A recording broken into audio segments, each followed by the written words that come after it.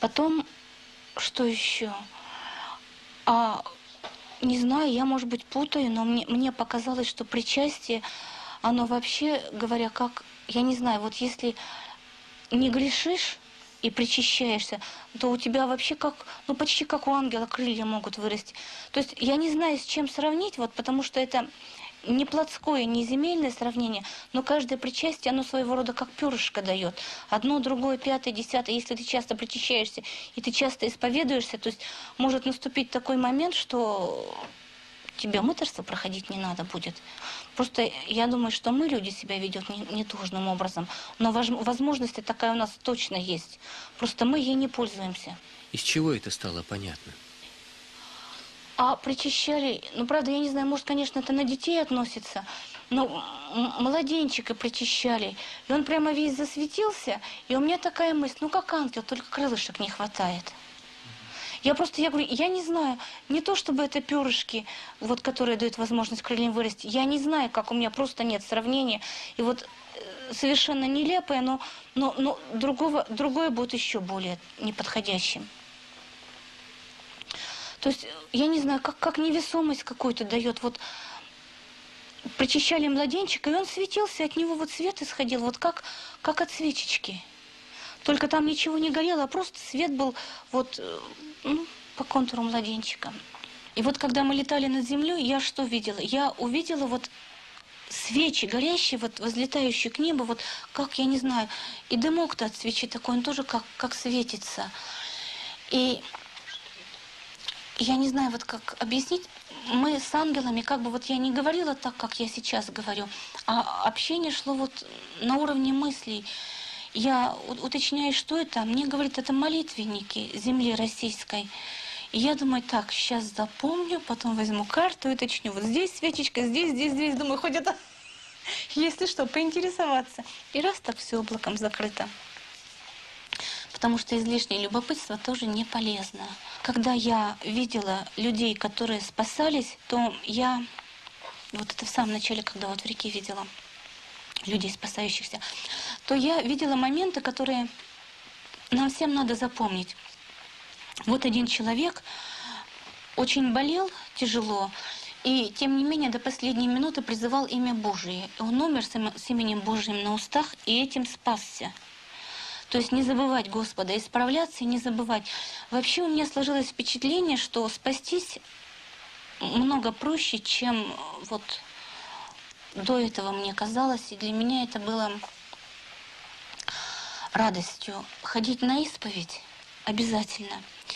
Не осуждать, не осуждать и всегда призывать имя Божье перед каждым шагом, перед каждым поступком.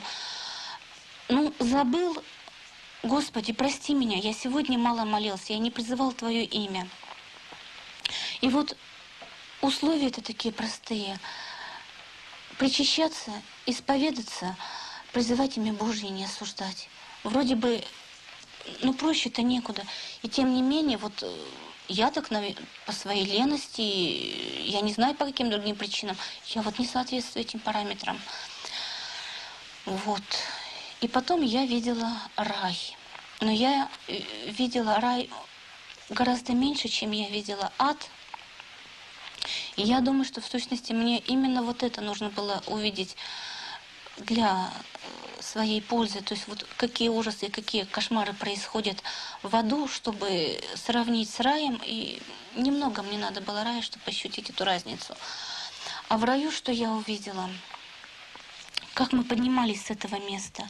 То есть вот я в палате, вижу часы, мне плохо, Потом я прихожу в себя, вижу часы, где-то время, ну, буквально в пределах, ну, там, двух-трех минут, там, медсестры, все. Вот. Но то, что я видела, спуск, вот эта вот река, дальше ад, потом летали над рекой, ой, над землей, потом поднялись, я посмотрела рай, потом опустились. Это очень много времени вот того заняло, как мне показалось. А в земном времени мы уложились вот, ну, две-три минуты, три, так это даже много. Что мы видели в раю? Мы, значит, когда поднялись снова на землю, в рай тоже вот как, не знаю, туда, как... Вот как вот в аду шли вот лестницы одна за другой, вот не, не лестница, а ямы, ямы, ямы, вот опускаешься вниз. Так вот в рай вот поднимаешься. Вот тоже, ну, у меня, несмотря на то, что я летела по ну, вот по такой по трубе, по тоннелю, как вот это вот. Те, кто говорят, что вот летишь по трубе, действительно там сравнение, с как, частичное сравнение с тоннелем, это так оно и есть. И в то же время было ощущение, что вот туда надо, вот если без ангелов, то подниматься ты будешь самостоятельно, и твои дела и хорошие, и плохие будут оценены. И вот я, когда поднялась в рай, я видела такую вещь, которая, ну, видимо, я должна была увидеть.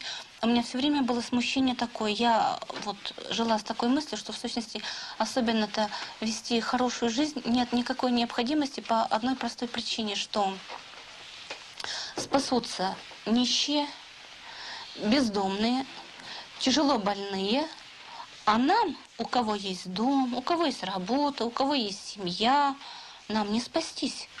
Деньги это, не спастись. И вдруг выясняется, что наличие денег или их отсутствие, высокое положение или его отсутствие, оно совершенно не влияет на спасение. У меня вот какой вопрос возник, тоже соблазн такой. Почему же вот Господь одним дает абсолютно все, а другим ничего не дает? И я вот получила, ну вот такое как бы сравнение, что дается каждому для спасения. И уж если ты не смог спастись, то тогда, чтобы на том свете человек не мог сказать, что у меня не было возможности для спасения. Вообще богатство нам дается для того, чтобы делиться. Ум нам дается, чтобы мы могли хоть с помощью математики, хоть с помощью биологии, хоть, ну не знаю, с помощью иностранных языков хвалить Господа и идти путем Божиим. Умеешь рисовать, хвали Господа живописью. Ведь это ложь, что спасутся только нищие, психически неполноценные, калеки, бездомные, вообще голодранцы. Нет, неправда. Спастись может каждый. Единственное, что надо точно знать, во имя чего ты делаешь. Если ты создаешь оперу во имя свое, вот я хочу прославиться, то да. Но если ты создаешь русскую оперу во славу Божию, это совершенно другое. То есть и Господь ведь не требует от нас того, чтобы мы с утра до вечера, забросив детей, забросив родственников, стояли в храме и кричали, Господи, помилуй. Нет, ты живи, но ты живи по духу. Помоги тому, кто плохо. Не можешь помочь деньгами, поддержи словами. Не можешь поддержать, не осуждай.